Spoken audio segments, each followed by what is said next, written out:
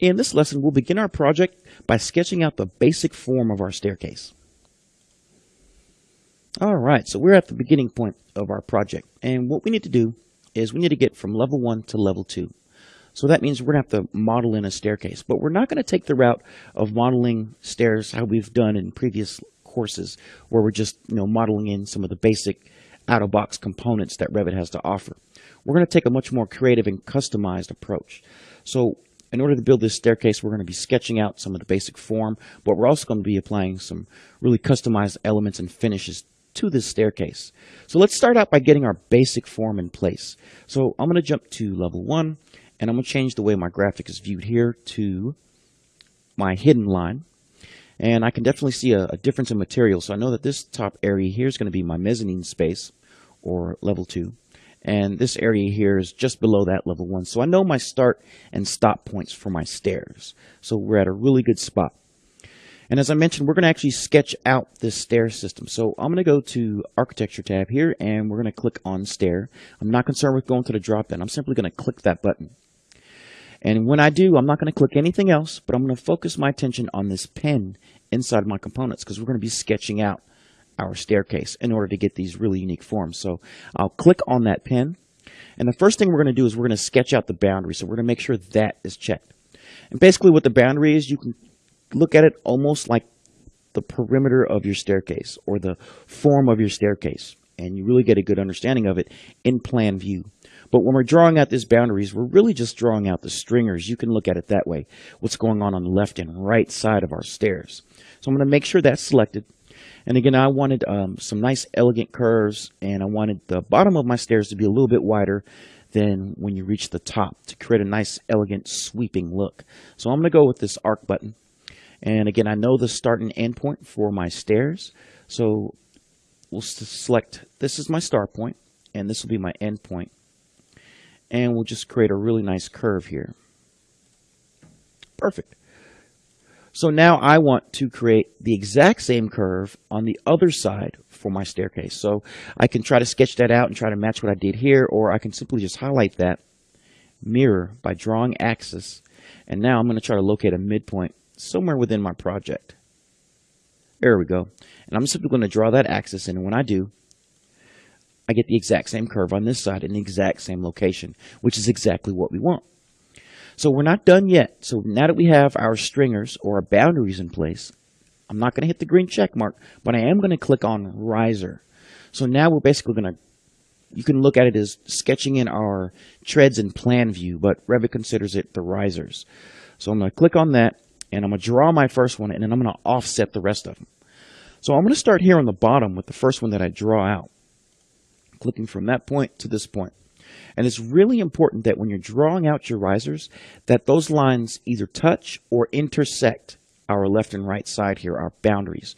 If they don't, Revit won't allow us to finish out this function when we click that green check mark. So I know that the bottom is going to be the widest. So as I offset the rest of these, I'm not going to have any problem with uh, that line touching or intersecting. It's going to do exactly what it needs to do. So I'm going to click on that line, click offset, and again, my tread depth is going to be at least 11 inches. I'm going to put that distance in there. Make sure we have a riser in there. And now I'm simply going to offset the rest of these lines.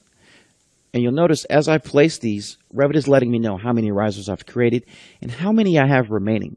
So if you add these two numbers together, basically that's telling me, hey, to get from level 1 to level 2, it's going to be 18 stairs. And in my design, I want to go up halfway. I want my landing to be at the halfway point of my stair, and then I want to finish it off after that landing. So I need to create nine stairs for my first run, put a landing in place, and later on we'll finish out the last of those nine stairs.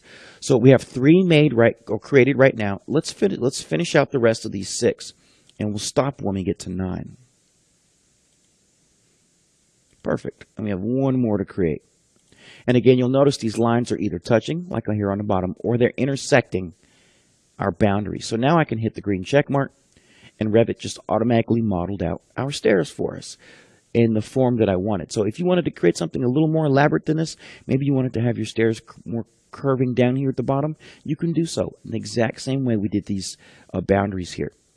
So now let's jump to 3D view to make sure our stairs are in the right direction. And they are because we're wanting to go from level one to level two, so I need to be sloping up.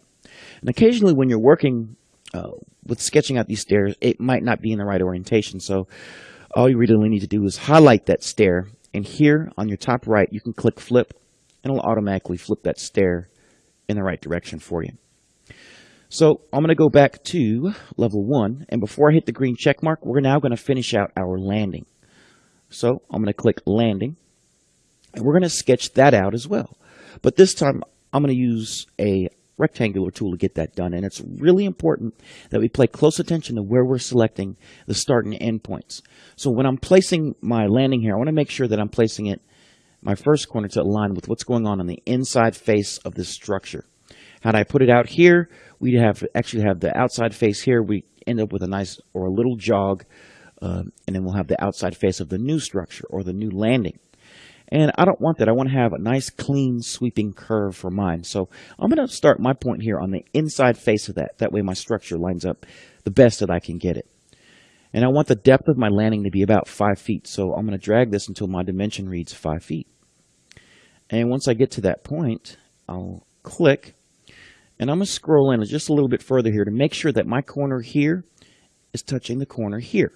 And I'm going to type in TL real quick to thin those lines out. It's going to help me uh, get much more accurate placement of my line. So I'm going to select that one. We're going to move this one, and we just want those that corner to touch. So now what we can do is we can hit the green check mark, and I can jump to 3D view really quick to make sure everything's looking good. So, so far so good. Now I'm going to hit the green check mark one more time, and my rails should be popped in here. Perfect. So now that my rails are in, I can kind of orbit around we're in good shape at this point. But we're not going to use these rails. Um, we're going to use as much customized uh, components and details as we can. So I'm simply going to highlight those rails, red red X that, and get those out of there. So now we have a nice beginning form for our staircase. Now we're not going to finish out going from the landing to level two because once we get our custom railing in place, it's going to make it's going to make it really challenging trying to get those railings to fit in. So doing it in this order is going to make it much easier to accomplish getting our rails and our posts and newels in the right place.